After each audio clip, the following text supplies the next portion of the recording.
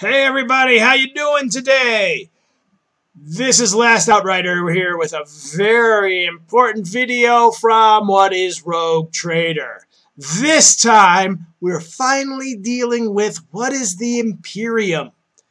I had to give you all the, I dealt with all the nice little uh, uh, uh, Space Marine stuff, but now now we're dealing with what is the universe itself, the galaxy itself. What is chaos? What is the Inquisition? What who is the Emperor? All of these things is going to be dealt with in the next few parts of this video series. So let's get to it. I think you're going to find it incredibly illuminating. This section introduces the players to the age of the Imperium the background to the Warhammer 40,000 game. Whilst the rules can be used to represent any film or book-based universe, the descriptions that follow have evolved along with the game itself. The scene is our galaxy, a galaxy largely populated and dominated by humanity, although humans with very different attitudes and expectations to our own. In addition to the countless masses of mankind, there are intelligent alien races. Many of these are relatively timid, easily dominated, and worthy of only a brief mention in the pages that follow.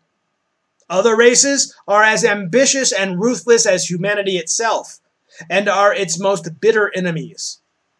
All of these races live within our galaxy.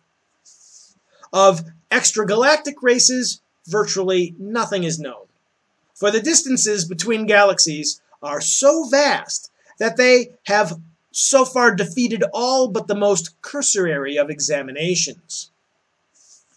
The background material presented in this section of the book has been evolved during the author's games and campaigns over several years. In that time, many of the races, their worlds and civilizations and attitudes have been worked out in considerable detail. That's at the time of Rogue Trader.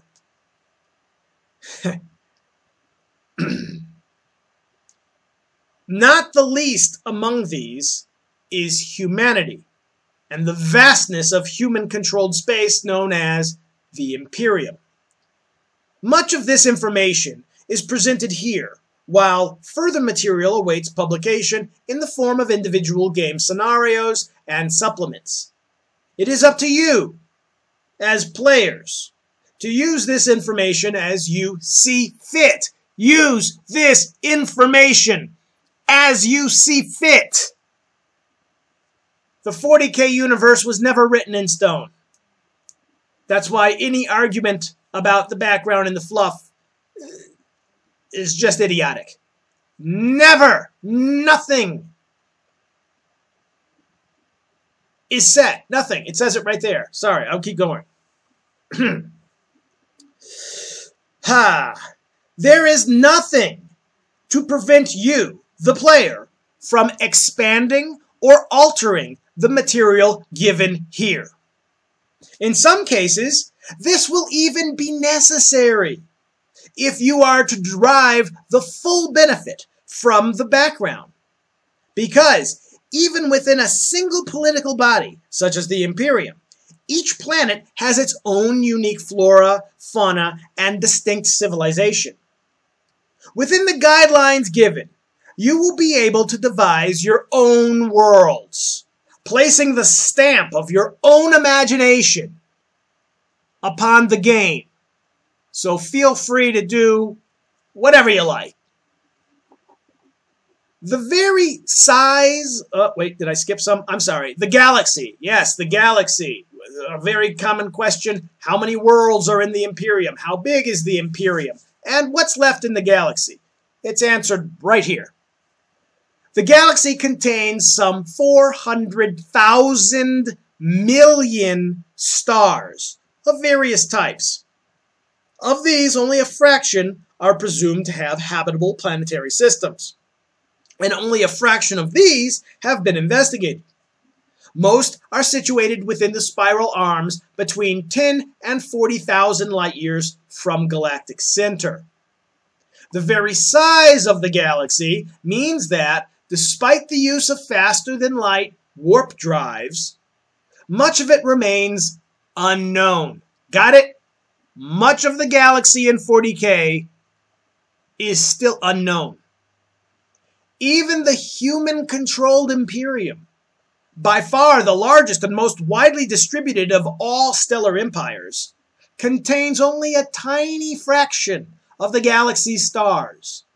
New worlds are constantly being discovered and investigated, along with their attendant civilizations, creatures, and resources.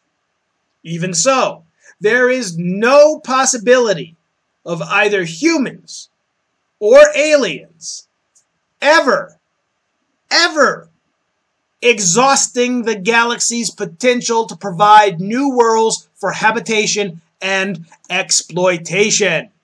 Boom. There you have it. Okay?